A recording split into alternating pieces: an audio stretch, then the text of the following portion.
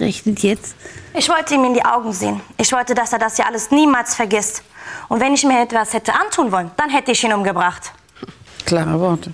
Katharina, du hast mich, weil ich deine Mutter verlassen habe und damals Angie geheiratet habe, aber nur Gefühle kann man nicht zerschwingen. Aber ich habe mit dem Tod deiner Mutter nichts zu tun, glaub mir. Du hast mein Leben und das Leben meiner Mutter zerstört. Und jetzt versuchst du das Gleiche mit Antjes Leben. Haben Sie denn was du mitbekommen hier? davon, wie es um die Ehe bestellt war zwischen den beiden oder wie es um die Ehe bestellt Ja, ist? er hat Antje wie Dreck behandelt. Ja. Sie ständig als Sündenbock dargestellt. Selbst wenn es geregnet hat. Antje hatte Schuld gehabt. Immer, immer. Mein Vater ist aggressiv und gewaltbereit. Er würde über Leichen gehen. Gibt's Ja. doch nicht. Was, Hat Ihr Vater die Angeklagte geschlagen? Ja. Glauben Sie kein Wort, das ist eine Lüge. Katharina, das ist was erzählst du hier? Ich bin dein Vater. Weißt du, was du hier erzählst? Die Wahrheit Das will erzählt dich sie. bezahlen. Du weißt, dass es eine Lüge ist. Das ist die Wahrheit. Nein. Laut Santelis, eine Strafverhandlung ist nicht der Ort, wo man alte Rechnungen mit seinem Vater begleicht. Hat Ihr Vater die Angeklagte geschlagen? Haben Sie selber das gesehen? Ja, hat er. Und das nicht nur einmal. Aha. Weitere Fragen an die Zeugin Santelis? Nein. Dann möchte ich mal mit Ihrem Freund fortsetzen. Josef Steiger, bitte, und Sie nehmen mal bitte erstmal an der Seite Platz. Ich möchte Ihnen das Tagebuch Ihrer Mutter aber gleich wieder mitgeben. Oder nachher. Nehmen Sie Platz. Steiger, dass man bei Gericht die Wahrheit sagen muss, wissen Sie, wenn man das nicht tut, macht man sich strafbar. Man kann immer dann schweigen, wenn man sich selber bei wahrheitsgemäßer Aussage einer Straftat bezichtigen müsste, Herr Steiger. Ihr Vorname ist Josef, Sie sind 29 Jahre alt und wohnen in Köln. Was sind Sie vom Beruf? Hausmeister. Hausmeister. Verwandt oder verschwägert mit der Angeklagten sind Sie nicht. Nein. Seit wann sind Sie mit der Angeklagten zusammen? Seit Oktober 2009 kennen wir uns und seit März sind wir zusammen. Wie haben Sie sich denn kennengelernt? Im Internet. Ähm, ich habe mich sofort in sie verliebt und bei ihr hat es dann auch gefunkt. Ja. Wie muss man sich das vorstellen? Ich denke, bei einer Webcam, Webcam kann nur einer was sehen und der andere nichts. Also ich meine, die Angeklagte hat Sie doch nicht sehen können, oder? Ich habe mir dann auch noch eine gekauft und äh, so ging das. Und eigentlich stehe ich gar nicht auf hüllige Frauen. Aber sie ist was ganz Besonderes, ich weiß auch nicht. Die Frau von die, die du gerade sprichst, hat sich in eine so Sex-Webcam-Gesichter verkauft. Und sie ist immer noch meine Frau, Noch. mein Freund. Sie sind das! Ja, ich bin. Sie sollten sich schämen, was Sie mit ihr gemacht haben. Wie Sie sie misshandelt haben, geschlagen haben Sie sie. Ja, Hätte ich ihr nicht geholfen, dann wäre sie immer noch da drüben gefangen in Griechenland. richtig. Haben Sie überhaupt gemerkt, wie sie durch ist mit den Nerven? Sie ist runter, fix und fertig ist sie. Wie bitte? Ja. Das wird hier immer besser.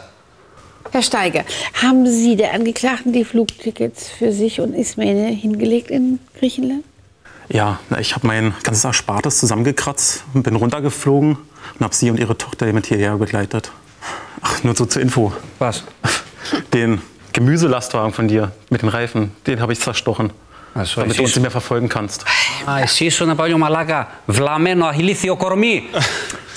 Du warst das. Vor so ein Depp, vor so ein Depp hast du mir verlassen. Sie Guck ist mal, glücklich mit vor mir. so ein Depp. Sie ist glücklich. Wer weiß eine Frau wert ich kümmere mich wenigstens um sie und behandle sie so, wie Ja, eine ja, Frau doch. behandelt werden sollte. Ja. Ja, aber Sachbeschädigung ist in Griechenland, glaube ich, genauso strafbar wie in Deutschland und Schadensersatz müssen sie dann möglicherweise auch noch leisten. Aber wissen Sie, was mich mal wieder interessiert? Warum haben Sie uns das denn auch noch verschwiegen, dass er extra nach Griechenland heruntergeflogen kommt, um Sie zurück nach Deutschland zu eskortieren? Haben Sie mal wieder die Unwahrheit gesagt? Nee, hat sie nicht. Aber Doch, meine. Mandantin wollte eben alles das, was, sie, was mit Griechenland zu tun hat, schnellstmöglich vergessen. Und zum Zweiten, Herr Staatsanwalt, Mhm. tut das hier nämlich überhaupt nichts zur Sache, weil es mit dem Tatvorwurf nicht das Geringste zu tun hat.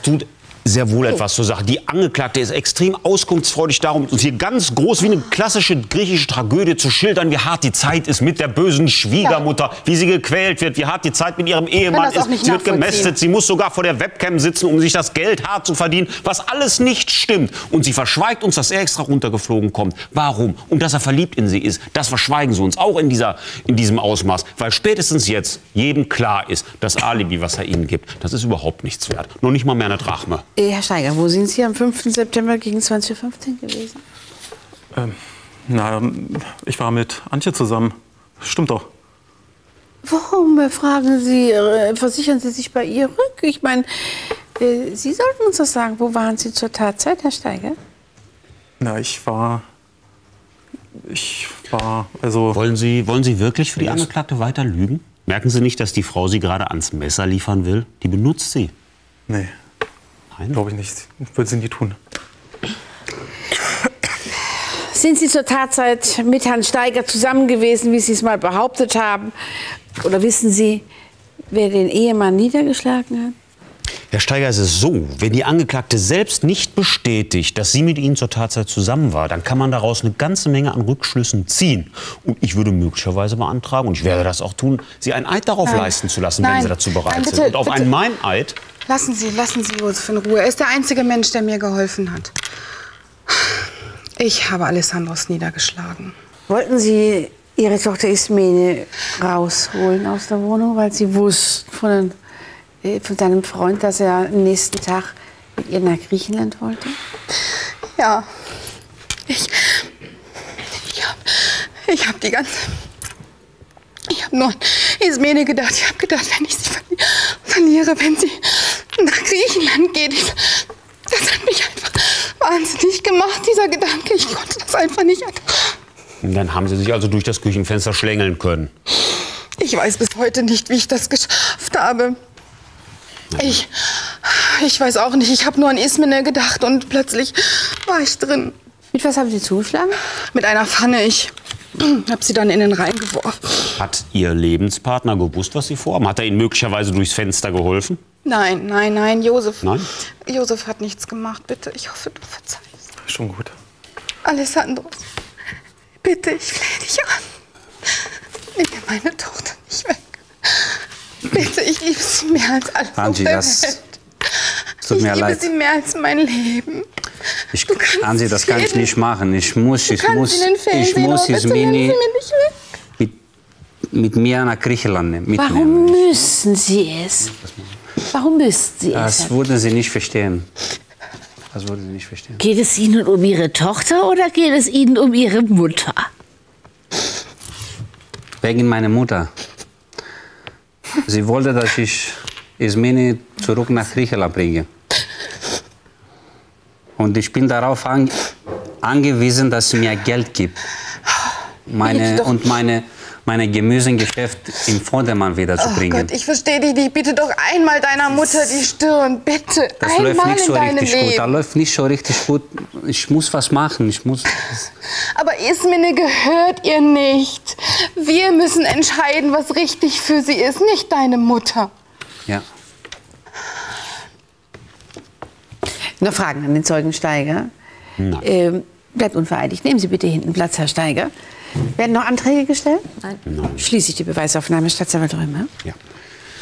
Frau Vorsitzende, das war ein in vielerlei Hinsicht sicherlich ungewöhnlicher Fall. Normalerweise sitzen ja die Frauen am längeren Hebel, wenn es um das Sorgerecht eines Kindes geht. Das ist hier anders. Das heißt, man könnte auch hier die Empfehlung ausnahmsweise nicht an die Frau, sondern an den Mann aussprechen, dass man wirklich an das Wohl des Kindes denken sollte, wenn es darum geht, wie man sich da möglicherweise einigt.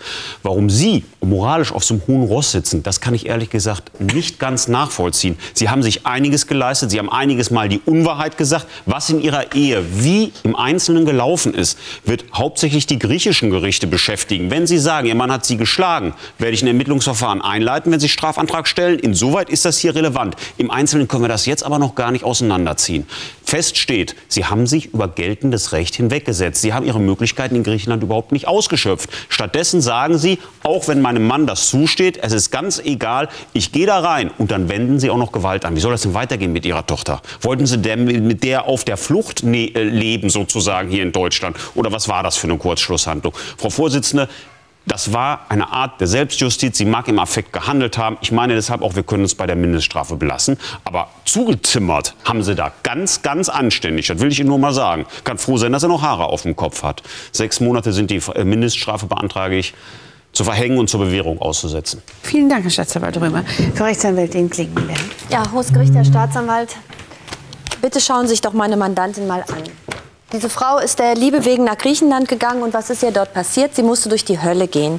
Ihr Mann hat zusammen mit seiner Schwiegermutter sie jahrelang gedemütigt und auch misshandelt. Und als sie dann endlich geschafft hat, diesen Absprung nach Deutschland, da geht dieser Mann hin und nimmt ihr das Liebste, was sie hat, nämlich ihr Kind. Und das Und das ist jetzt sehr wichtig, Herr Staatsanwalt, obwohl das Kind, das haben wir nämlich gerade gehört, gerne bei der Mutter bleiben möchte, auch in Deutschland. Aber darüber setzt sich der Vater hinweg und ich muss Ihnen selber als Mutter sagen, das bricht einem das Herz. So, und was macht sie in dieser Verzweiflung, kurz bevor das Kind wieder außer Landes gebracht werden soll? Sie will es zu sich holen. Sie steigt dort ein mit irgendwelchen übermenschlichen Kräften, die sie da aufgeboten hat, aber das Mädchen war nicht da und sie geriet in Panik. Wo mag die wohl sein? Vielleicht ist sie schon nach Griechenland. Ich weiß nicht, was in ihr vorgegangen ist, aber sie muss außer sich gewesen sein. Und als sie dann auf diesen Mann getroffen ist, diesen ihr so verhassten Ehemann, da hat sie das Erstbeste gegriffen und ihn so verletzt. Was ihr ja nun offensichtlich auch sehr leid tut. Und im Hinblick auf das sehr späte Geständnis und die Tatsache, dass eine weitere Straftat nicht zu erwarten ist, vor allem aber im Interesse des Kindes, bitte ich daher um eine sehr milde Strafe. Vielen Dank. Vielen Dank, Frau Klingenberg. Sie haben das letzte Wort, Frau Tantidis. Bitte trennen Sie mich nicht von meiner Tochter. Ismene gehört zu mir. Im Namen des Volkes ergeht folgendes Urteil. Die Angeklagte wird wegen gefährlicher Körperverletzung in Tateinheit mit Hausfriedensbruch zu einer Freiheitsstrafe von sechs Monaten verurteilt, ausgesetzt zur Bewährung und die trägt die Kosten des Verfahrens. Bitte nehmen Sie Platz, meine Damen und Herren. Ihre Verteidigerin hat hier zu Recht nicht äh, von einer Geldstrafe gesprochen, weil das geht hier in dem Moment nicht. Ähm, denn so wie Sie hier gehandelt haben, kann ich nicht von einem minderschweren Fall ausgehen. Das ist das eine, Frau Santidis.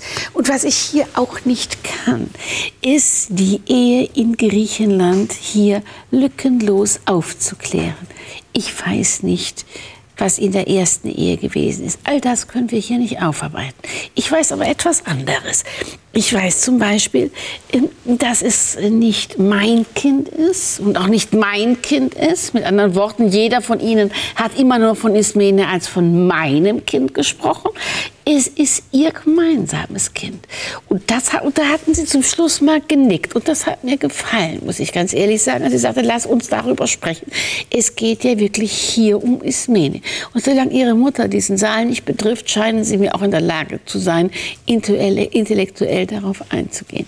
Ich bin weit davon entfernt, Frau Zandelis, ihr Mitverschulden in dieser ganzen Geschichte herunterzureden, und zwar was die zehn Jahre Griechenland bis hin zum Ausufern ihres Körpers betrifft. Das ist eine ganz andere Geschichte. Entscheidend ist hier doch wirklich, was Ismene will. Ismene will hier bleiben bei ihrer Mutter und sie wollen doch Ismene nur mitbringen, weil ihre eigene Mutter es angeordnet hat. Sie können sich da unten doch meinetwegen rauslügen. Hauptsache Ismene kann bei der Mutter hier bleiben und Sie nehmen vernünftig Ihr Besuchsrecht wahr. Und umgekehrt, Ismene besucht Sie auch, wobei ich im Moment nicht weiß, ob ich ihr raten sollte, nach Griechenland zu fahren. Ich weiß nicht, was Ihre Mutter dann dort veranstaltet. Gegen das Urteil gibt es Rechtsmittel der Revision oder der Berufung einzulegen binnen einer Woche ab heute. Die Verhandlung ist geschlossen. Ismene lebt inzwischen bei ihrer Mutter. Sie sieht ihren Vater regelmäßig.